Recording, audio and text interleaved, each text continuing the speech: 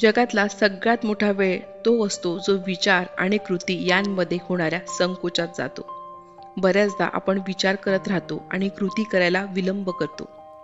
स्वप्न झोपत पाहत राहणे आणि उठून पूर्ण करणे यांमध्ये सगळ्यात जास्त वेळ आपण वाया घालवतो. खरं तर हा वेळ कायमचा असू शकतो. तुम्ही काहीतरी सुरू करण्यासाठी एका सेकंदासाठी संकोच करू शकता. व्यायाम असो एखादा प्रकल्प एखादे काम असे काहीतरी जे तुम्हाला खरंच करायचे आहे. तेव्हा तुम्ही एका सेकंदासाठी संकोच करू शकता. तो एक सेकंदाचा संकोच अचानक पाच सेकंदाचा होतो आणि नंतर दहा सेकंदाचा आणि नंतर दहा मिनिटाचा. आणि अशाच प्रकारे तो अनंत होऊन जातो. एक सेकंद अनंत काळात बदलतो. कारण जे घडणार होते ते आता कधीच घडणार नाही. का? कारण तुम्ही संकोच केला. म्हणून असा चान्स घेऊ नका. त्याऐवजी कृती करा उठून कामाला लागा. एका गतीत असलेले शरीर गतीत राहते. आराम करत असलेले शरीराला आरामच करावासा वाटतो. आतापर्यंत खूप आराम करून झाला. तुम्हाला तुमच्या जीवनात त्या टप्प्यावर पोचायचं आहे जिथे तुम्ही ठरवाल की बस आता पुरे झालं. मी हार मांडण्यात थकलो आहे. मी कमी पडण्यात थकलो आहे. मी आता थकलो आहे. आणि आता वेळ आली आहे प्रगती करण्याची पुढे जाण्याची एका पातळीवरून दुसऱ्या पातळीवर उडी मारण्याची. योजना तयार करणे हा सोपा भाग आहे आणि तुम्हाला हे समजायला हवे की जर तुम्ही योजनेनुसार काम केले नाही जर तुम्ही सकाळी थकल्यासारखे घाबरल्यासारखे वाटले म्हणून उठले नाही जर ठरवल्यानुसार काम केले नाही तर तुम्ही फक्त स्वतःची फसवणूक करत आहात. ज्या गोष्टीचा तुम्ही भाग आहात जे तुमचे स्वप्न आहे ते या सगळ्या गोष्टींपेक्षा मोठे आहे. यशाचं गुपित तुमच्या दिनक्रमात आहे.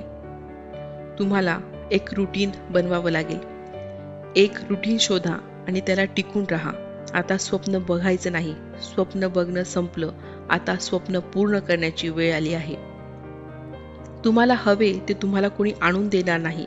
तुम्हाला ते मिळवायचे आहे. तुमचे ध्येय असेच मिळणार नाही.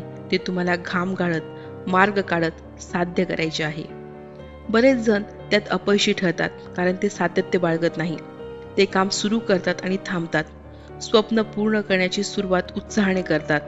जोरात सुरुवात करतात पण काही दिवसाने तो उत्साह ओसरतो आणि मग मध्येच कुठेतरी ते स्वप्नांना सोडून देतात. त्यांना थोडं यश मिळतं. पण सातत्य नसल्याने स्वप्न पूर्ण करायला वेळ लागतो आणि म्हणून ते स्वप्न मध्येच सोडून देतात. तुम्हाला चिकाटी धरायला हवी. तुम्हाला एकाग्र राहायला हवं नियमित राहायला हवं आणि सातत्य ठेवायला हवं. सातत्याला अंगीकरण्यासाठी सात नियम लक्षात ठेवा जे तुम्हाला अधिक शिस्तबद्ध बनवतील. लक्ष केंद्रित करण्यात मदत करतील आणि तुम्हाला तुमच्या स्वप्नांचा पाठलाग करण्यात मदत करतील. पहिला नियम show up and start now उपस्थित राहा आणि लगेच सुरुवात करा. योग्य क्षणाची वाट पाहणे म्हणजे वेळ वाया घालवणे. त्या क्षणासाठी आता थांबू नका. खरी प्रगती तेव्हाच सुरू होते जेव्हा तुम्ही सुरुवात करण्याचा निर्णय घेता. प्रत्येक दिवसात एक प्रयत्न करून उपस्थित राहा ही सातत्याची पहिली पायरी आहे. मी येणाऱ्या एक जानेवारीपासून हे करेल. तो दिवस येईल मग मी ते सुरू करेल अशी वाट पाहू नका. आत्ताच सुरुवात करा. दुसरा नियम. डेली एफर्ट इक्वल्स प्रोग्रेस दररोज प्रयत्न करा. हेच तुम्हाला प्रगतीकडे नेईल. तुम्ही आता सुरुवात केली. आता त्यात सातत्य ठेवा. सातत्य म्हणजे तुम्ही किती उत्साहात काम करत आहात किंवा तुम्ही किती जोमाने काम करत आहात हे नाही. सातत्य म्हणजे नियमितपणा. सातत्य म्हणजे एक अशी सवय तयार करणे जी तुम्हाला तुमच्या कठीण दिवसांवर मात करण्यात तुम्हाला मदत करेल. तिसरा नियम. पॉझिटिव्ह माइंडसेट इच डे प्रत्येक दिवशी सकारात्मक दृष्टिकोनातून काम करा. सकारात्मक दृष्टिकोनाने सातत्याला चालना मिळते. जेव्हा तुम्ही प्रत्येक कामाला सकारात्मकतेने सामोरे जाता तेव्हा तुमची ऊर्जा आणि प्रेरणा टिकून राहते. नकारात्मक विचार आणि निराशा आपल्याला थांबवण्याचा प्रयत्न करतात. सातत्य तोडणारे हे नकारात्मक विचार ओळखायला आणि त्यांचा प्रतिकार करायला शिका. प्रत्येक कार्यात सकारात्मकता आणा आणि प्रत्येक दिवशी स्वतःमध्ये सुधारणा घडवा.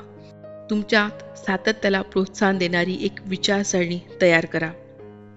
चौथा नियम commit for the long haul दीर्घ काळासाठी कटिबद्ध राहा. मोठ्या बदलांसाठी कटिबद्धता आवश्यक असते. खरी सातत्यता केवळ काही दिवसांसाठी किंवा काही आठवड्यांची नाही. ही सातत्यता तुम्हाला महिन्यांसाठी आणि वर्षांसाठी टिकून ठेवायची आहे. मोठ्या चित्रावर लक्ष केंद्रित करा आणि दीर्घ काळासाठी सातत्य ठेवण्याची योजना करा.